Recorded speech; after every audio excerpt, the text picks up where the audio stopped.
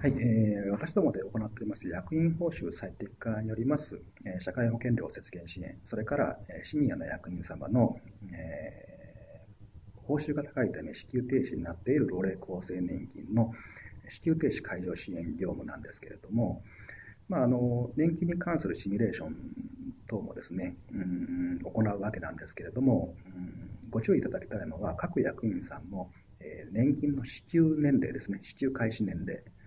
これが、まあ、あの役員さんの生年月日、性別に応じてですね、変わってくるわけです。